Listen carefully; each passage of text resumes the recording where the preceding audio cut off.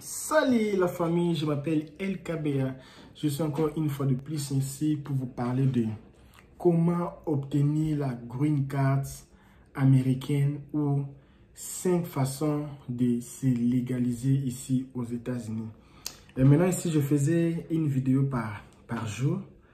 Par, par trois jours, je fais une vidéo. Maintenant, je commence à faire euh, des vidéos par jour et puis je vais parce qu'il y a la demande est forte. Beaucoup de gens me demandent, fais une vidéo pour ça, fais une vidéo pour ça. En fait, les gens se m'ont demandé, pardon, quand tu fais des vidéos, nous sommes ici en Afrique pour faire des vidéos de 2 heures du temps? Ainsi, un peu de faire des vidéos de 30 minutes pour nous faciliter aussi le temps de dormir. Souvent, on regarde tes vidéos, tes vidéos la nuit. Ok, ok, ok, ok, ça va. On va plus tarder. Il y a 5 euh, manières de se légaliser ici aux États-Unis. Beaucoup de gens viennent ici aux États-Unis. Non, je vais euh, demander le visa pour le travail et le visa pour les études. Quand j'arrive là-bas, je ne vais pas étudier, je vais commencer à travailler, envoyer l'argent en Afrique. Ça, c'est mauvais. C'est mauvais, c'est mauvais, c'est mauvais. C'est pour cela que beaucoup de gens prennent les négatifs sur leurs interviews. Il y a des possibilités pour aller aussi aller travailler aux États-Unis avec le visa du travail.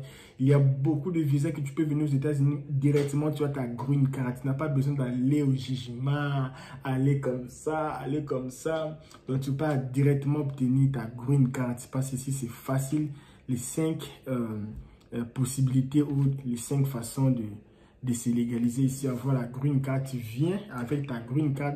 Donc, tu laisses Cotonou, tu viens ici aux États-Unis directement avec ta green card. Euh, le premier, c'est, on va un peu parler de, euh, de visa, visa de, euh, du mariage ou les K1. le visa de mariage ou les K1, c'est, quand je viens de dire que le visa K1, c'est le visa de, hein, du mariage, comme je viens de le dire, mais parfois c'est différent parce que tu seras obligé de rester deux ans avec la personne et après les deux ans, on va te donner le, les green cards permanentes. Tu auras les green cards provisoires pour deux ans. Et puis après deux ans, maintenant, tu auras les green cards permanentes. Mais ça sera difficile. Imagine tu as, tu as une fiancée, tu, tu as un fiancé qui va te permettre de, dormir avec cette femme-là ensemble ou ces maris-là ensemble dans une même maison. Parce que l'immigration voulait savoir si vous avez le même compte bancaire. Ce n'est pas les faux comptes bancaires, le vrai compte que vous déposez votre argent et si vous avez des liens, si vous restez dans une maison, ils sont capables de checker votre téléphone. Ils ont les GPS de tous les téléphones. Ils savent que les téléphones ici, euh, ça existe ici aux États-Unis. C'est que c'est toi qui utilises ce numéro. à, partir de ton numéro de téléphone, tu peux savoir que ton numéro de téléphone n'a pas dormi dans la maison où vous avez écrit que vous habitez là-bas. Ils vont tout savoir et ce n'est pas facile, c'est vraiment difficile. Et s'il faut se marier comme ça, il faut que ça soit un vrai amour hein, pour faire ça et tu vas appliquer le visa K1, tu pars vraiment pour... Donc, même si le, le conseiller est-ce que tu vas rester là-bas? Oui, je vais rester. Tu vas, tu vas pas rentrer au Congo? Non, je ne veux pas rentrer au Congo. Si je veux, je rentre. Non, tu veux, à l'aise, tu peux partir comme tu veux, tu peux retourner dans ton pays comme tu veux, tu seras vraiment résident avec ta green card. Et euh, le visa, euh, euh, j'ai encore la deuxième position. ce n'est pas les positions par je dis seulement, je cite, je, cite pas la, gravité, je cite seulement comme ça. Et le visa qu'on appelle le EB3 ou le EW3. Le EW3, c'est un visa où, où moi je veux partir prendre le visa de, de, de études. Quand j'arrive aux États-Unis, je vais abandonner je vais travailler. Mauvais. Tu vois l'accès c'est d'avoir le visa EW3. Avec ça, tu viens ici, tu seras résident ici aux États-Unis avec ta green card. Maintenant, on va un peu parler de ça. Les EW3, c'est le visa de travail, ça, dit quoi? C'est pour le, le, profession non qualifiée, c'est-à-dire, euh, il y a des entreprises ici et ces, entreprises-là, ils vont dire, c'est quand tu viens déjà ici aux États-Unis, c'est déformé. Tu es déjà ici aux États-Unis ou tu es dans ton pays? Prenons les cas dans ton pays. Dans ton pays, tu vas contracter, il y a beaucoup d'agences ici qui, qui le font. Pour les gens qui sont en Afrique, souvent c'est au Brésil, vous allez payer 25 000 dollars, 25, 26, 27 000 dollars. Ils vont faire tout pour toi.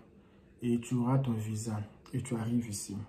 Quand tu arrives ici aux États-Unis, tu arrives ici avec un visa de travail. Tu travailles pour eux.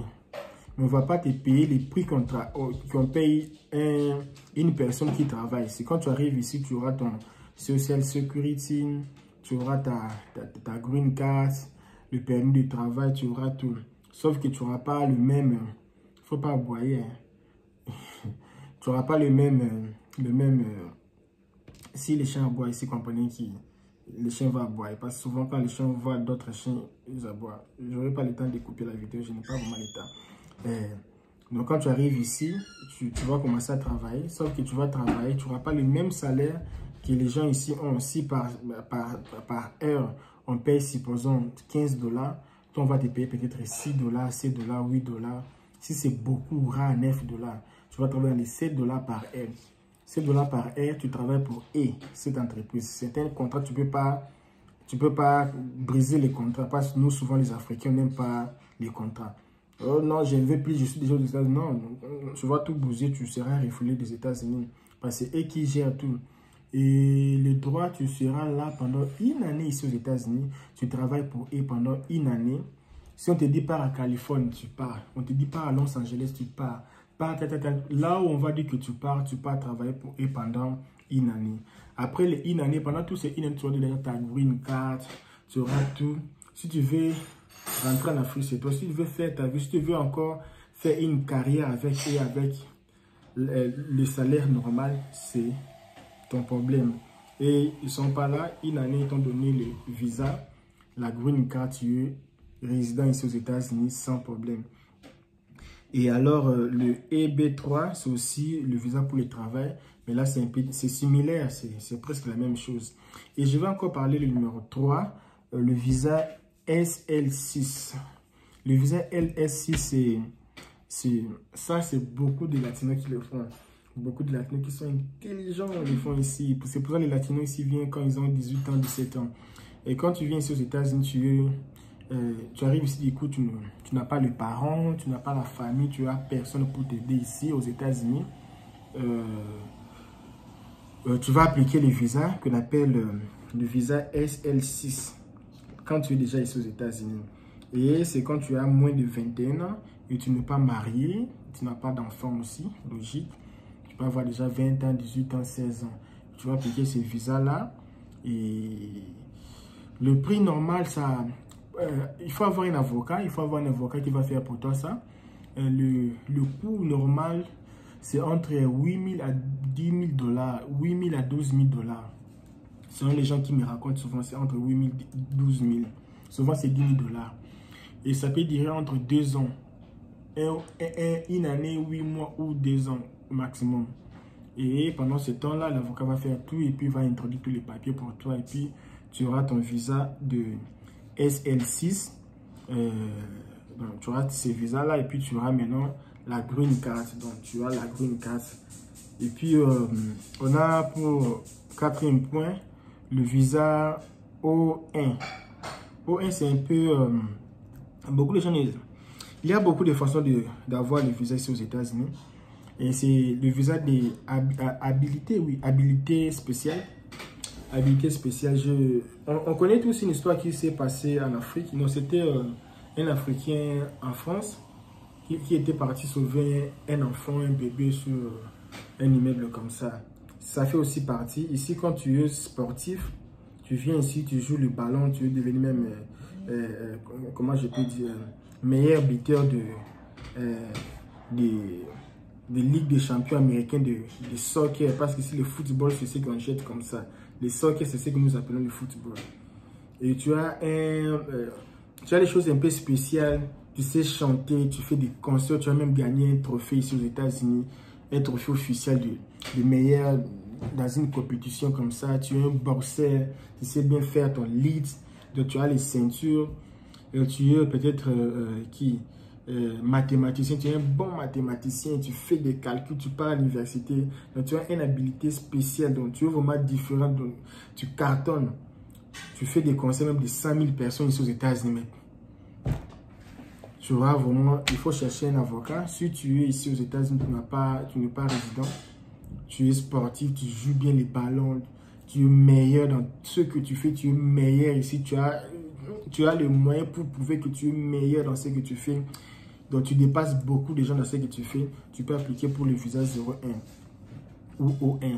Et pour la, euh, le dernier, ce n'est pas le dernier parce qu'il y a plusieurs moyens d'avoir les green cards faciles ici aux États-Unis sans beaucoup de paca, paca, paca, paca. Alors, cinquième position, c'est les visas qu'on appelle les VAWA. C'est V-A-W-A. C'est quand tu as... Tu peux seulement pas être une femme ou un garçon. souvent, c'est pour les femmes, que je vois souvent les cas.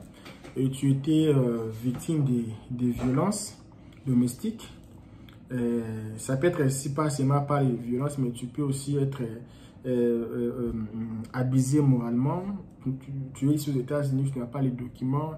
Et on te dit toujours, toi tu es immigré, tu n'as pas les documents, tu ne peux pas travailler, tu vas rester chez moi à la maison, tu ne peux rien faire, tout ça, c'est moi qui fais tout, tu es rien dans ce pays, tout ça, tu n'auras pas les documents. Abuse moral aussi, peut aussi t'aider aussi à voir et faire le si tu as les preuves bien sûr, tu peux demander à un avocat pour faire ce, ce genre de visa pour avoir la green card facilement.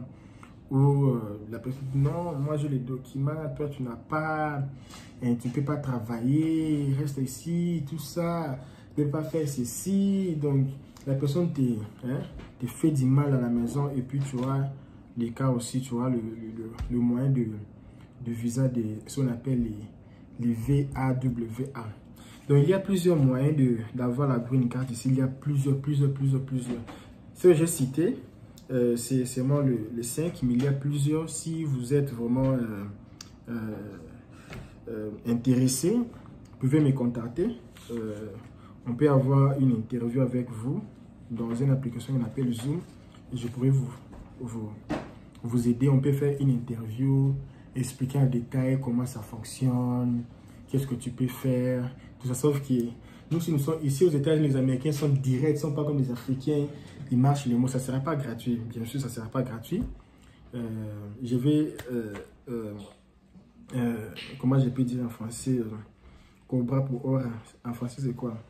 Je vais, je vais demander de, l'argent, hein? ça sera payant, ça ne sera pas gratuit, bien sûr, aux États-Unis, il n'y a rien de gratuit. Et je vais faire une vidéo par les habitudes que les Américains n'aiment pas des Africains. Ici aux États-Unis, quand tu pars au restaurant, on te sert, quand tu, as acheté la nourriture de 50 dollars, il faut donner 20% du prix que tu as payé la nourriture. On appelle ici, je vais tout expliquer, mais les Africains ne payent pas ça. Et quand tu viens au restaurant, tu ne parles pas anglais, on va mal te traiter parce que tu es étranger et tu ne sais pas qu'ici aux États-Unis, il faut payer 20%. C'est souvent les week-ends du prix de la nourriture que tu as payé. Et ici, nous sommes directs. En fait, ça sera payant. Pendant une heure, deux heures, trois heures, on va discuter. Je vais tout faire voir comment ça fonctionne, qu'est-ce qu'il faut faire pour commencer, s'il faut faire ça ensemble, voir tout, voir quels sont les documents que tu peux réunir. Que c'est les avocats, les avocats, tu vois, les, avocats sont comment? Les avocats, ils aiment que tu viennes déjà avec ton histoire déjà bien, et c'est moi, ils partent là-bas faire la, hein, le quoi, c'est ce qu'on appelle le, c'est comme les ingénieurs qui construisent la maison. Tu as vu l'ingénieur prendre les briques, même si les briques les cassées, lui il veut pas de ça, il veut que toi les maçons, tu fais tout, tout, tout, tout, tu viens déjà avec une histoire qui déjà lui fait seulement tant, tant, tant, tant.